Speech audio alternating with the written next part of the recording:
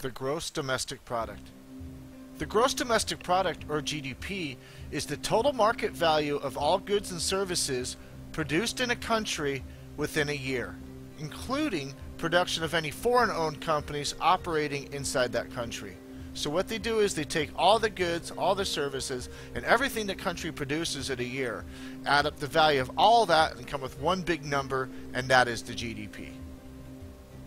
Here in the United States, the GDP is recorded by the United States Department of Commerce, and it's reported every three months. Looking at a pie chart, you can see the GDP broken down consists of about one third of housing, about 20% of transportation, 13% is food, about 11% is insurance premiums and pensions, about 9% is pensions and social security, 6% is healthcare, and the rest is entertainment, apparels and services, cash contributions, education, alcohol and smoking supplies, personal care products, reading, and other miscellaneous items. Here in the United States, we have the largest GDP in the world by far. In fact, we are about three times as big as Japan and uh, four to five times as big as Germany, the third largest. When there is an increase in the GDP, it means that people are spending more. This means companies must produce more, causing an increase in the workforce and a decrease in unemployment. When the GDP decreases, people are spending less. This means companies must produce less, causing a decrease in the workforce and an increase in unemployment. In fact, the definition of a recession is two back-to-back -back quarters of declining or contracting gross domestic product. GDP figures can be used to determine the health of the economy. When adjusted for inflation, the annual growth of the GDP can be used to indicate whether the economy is growing too slow, too fast, or at the correct level.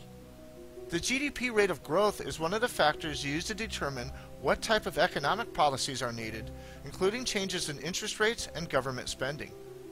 If the GDP is growing too slow or contracting, economists worrying about unemployment will recommend policies that will help increase growth, such as cutting interest rates or increasing spending.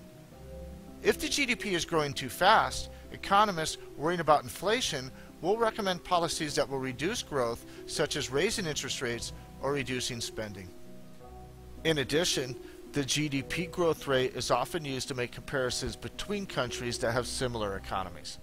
For the most part, the GDP includes three components to total spending consumer spending, investment spending, and government spending. Consumer spending, also called consumption, is the largest of the three components, accounting for roughly two thirds of the gross domestic product. The most important gauge for consumer spending is income levels. If the GDP is rising, companies will produce more, meaning they will hire more, increasing total income, which will lead to more spending. If the GDP is declining, companies will produce less, causing them to reduce the number of employees they have, reducing total income, which will lead to less spending. After consumer spending, probably the next important part of GDP is investment spending. In this case, investment spending doesn't refer to things like stocks and bonds and stuff like that. It refers to companies spending money to grow and expand by adding things like new equipment, new factories, new buildings, when a company expands by adding new buildings or equipment, it adds to the production capability.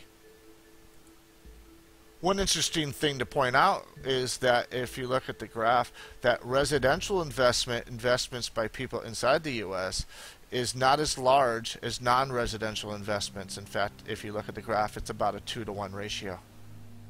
The third component of the GDP is government spending.